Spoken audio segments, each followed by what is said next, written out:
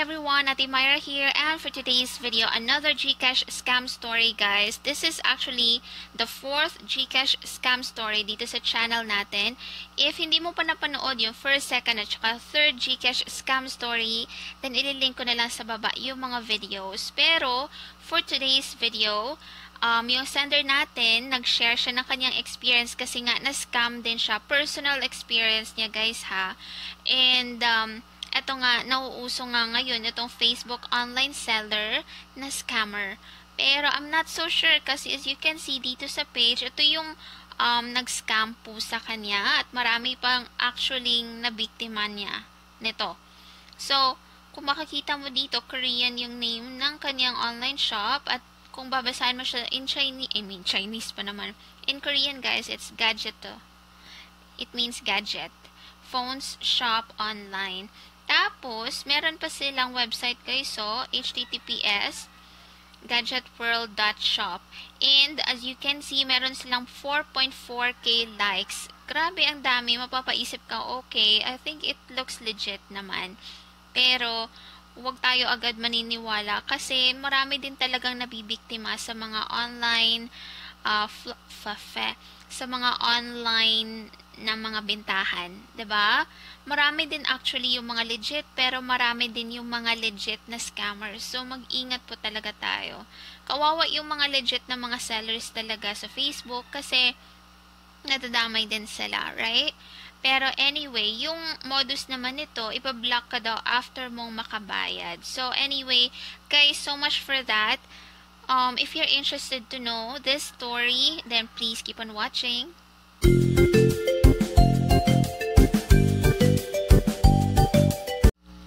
So guys, by the way, napanood niyo na ba yung first Gcash scam story natin guys? Kasi almost the same siya ng story dito. Kasi sa Facebook din um, nangyari or fa sa Facebook din siya na scam. Pero yung kaibahan dun sa first kasi is um, sinasabi doon na free 200 pesos Gcash money. ba diba? Pero dito, parang legit siya na online shop. Kunyari, we don't know exactly kung meron talaga silang totoong products pero parang nagbebenta sila ng phone sa kanilang Facebook page. Okay? Tapos, ganito yung magiging style po nila. Ito yung sample post po nila. Due to increasing returns of packages, I will no longer offer cash on delivery and cash on pickup. I'm very sorry, but this is too much loss for me. To those bogus buyers who are rude enough not to claim their packages, I will ban you and never entertain you in my page. Sorry, but naghahanap buhay po ako. No to bogus buyers.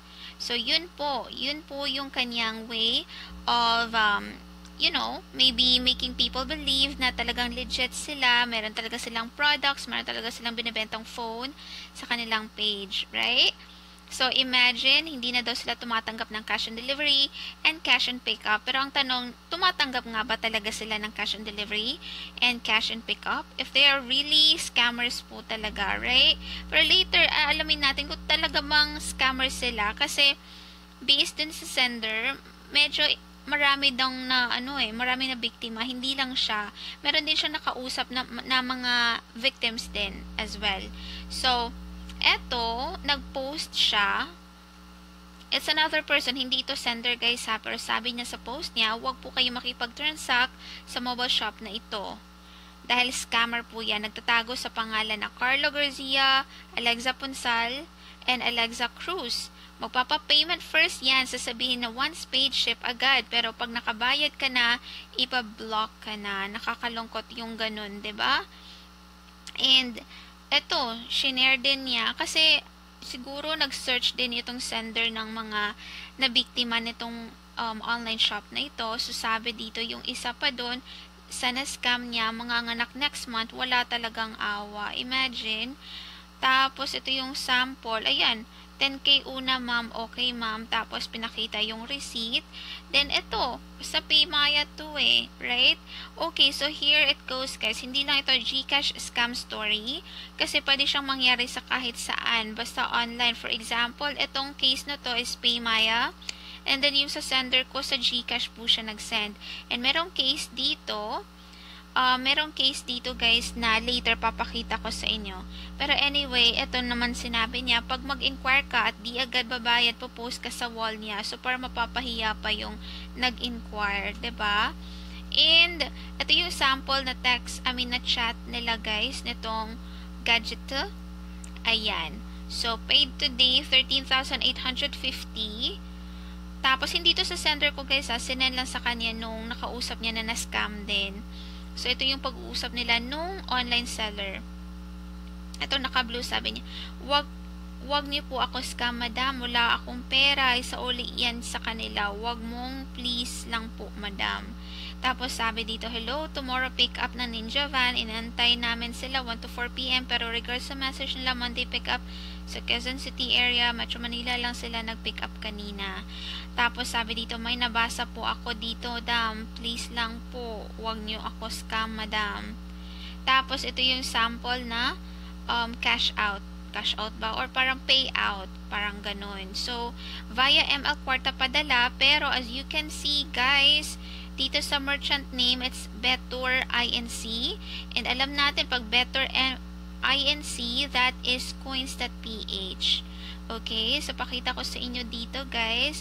Um, ito kasi nangyayari, parang coins.ph ng online seller, itatap niya yung um, cash in. Magka-cash in siya, tapos, pipiliin niya yung M. Lulier, tapos ito yung may transaction code na lalabas. Ito yung ibibigay niya dun sa victim. Okay, sa gustong bumili ng phone with the amount, of course. So, pag send ng ganyan, pupunta ngayon yung customer dito sa M. Lulier, magpapadala ng pera with this transaction code and kita niyo naman yung amount, yan po yung pinadala, right? So, very successful po talaga na na-send po dun sa online seller yung pera. And, ayan na nga, Better INC, yung merchant name. So, ibig sabihin, sa Coins PH naman ito. Kanina, Paymaya ito, Coins, tapos yung sa sender ko, sa Gcash na po pinadala. So, And ito naman continuation, bakit niyo po isisin? Ma'am, ano na, scam po ba ito? Report ko na kayo sa mga police po, post ko na kayo. Mga walang awa kayo, mga kupal, bakit hindi kayo nagre-reply? Wow, ang galing niyo, napakagaling ninyo, para hindi na na-send. So, ayun, most probably na-block na po daw siya nito. Okay, so ayan po yung online seller po or online shop. Let's see, check natin itong HTTPS ganyan, gadgetworld.shop. Ayan po siya, 4.4k likes po siya. Okay, so So guys, check natin itong website na to kasi medyo na-intriga ako guys. Gadgetworld.shop daw po. So check natin. Okay, so HTTPS. Uh -huh. Ayan, sensya na kayo guys ha. Gusto ko na ipakita sa inyo. Gadget World gadgetworld.shop ayan, and then here. Search natin kung may makikita tayong information na relevant po.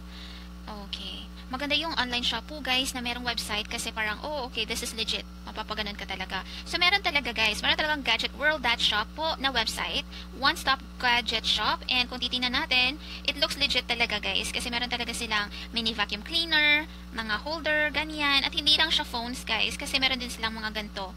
Like, shaking head figure car ornament, Ayan. And then, meron din sa mga coolest gadgets. Pero nakapeso kasi meron sila, I believe guys ha, this is an international po na shop. Alright? Pero meron din sila in Philippines. So, kahit nasa Pilipinas ka, pwede ka maka-avail nito. Pero, kung check natin dito sa customer services, later, ayan, check natin tong customer services nila. Please bear with me. Ayan. Contact us check natin. Ayan, guys, ways to contact us. It's an international number. Tapos, it's uh, from Dubai, UAE po.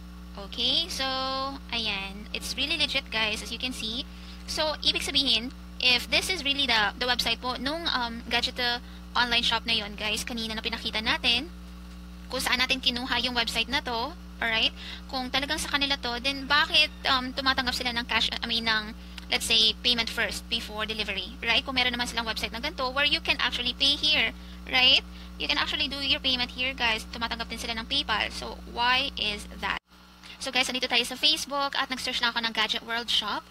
Okay, so as you can see, meron ditong gadget shop. Of course, hindi yan. Gadgets World. Bakit may S, ba? And then, ito, Gadget World Shop naman. Pero 425 likes lang. Gadget World, 19K. Pero ito yung mas nakapansin ng attention ko. Nakapansin ng attention. Tama ba yung Tagalog, guys? Okay. So, mas napansin ko to kasi ito ay same po nung nasa website. Itong logo na to. So, I'm thinking na parang ito talaga yon 3K likes lang siya. And March 25, ayan, meron silang mga products na ganyan. At meron talaga silang nilalagay na website nila, gadgetworld.shop. Okay? And meron din silang, I mean, meron din dito Gadget and Gear, Gadget World. So, actually, maraming Gadget World, ano? Ayan. Pero, yun nga, same ng logo po is ito po, itong blue na parang, ayan. So, try natin, open natin if this is really the one, guys. So, Gadget World, Shopping and Retail. May 3,000 likes po siya. And, mabagal ang net ko. Tama ba yun? Okay guys, so I'm back. Open lang natin. And, uh, ayan nga, Dubai UAE nga. At meron din talaga silang website gadgetworld.shop talaga. So, naniniwala ako dito sa Facebook page na to. Sa kanila talaga yung website na nakita natin kanina guys, okay? Because as you can see, ito yun eh, nakita natin to kanina doon, right? Itong watch na to, watch ba yan? Ay, hindi pala. Pero, ayan, I'm convinced guys na ito yung website na yon right? Kasi UAE din eh, and then ayan, may mga, ayan, meron actually link na magdadirect sa atin dun sa website na yun talaga. So, with that being said, guys, I'm thinking na yung yung feature natin na Facebook or online seller kanina is just, I mean, that Facebook page only used this Gadget World shop na website. Nilagay niya lang, kinopy-paste nila at nilagay niya lang sa kanyang Facebook um, shop. Okay, so that's really, really bad, guys. Meron bang ano doon? Something? Because it's not good, guys, to put a website and own it as your own kahit na hindi naman. ba?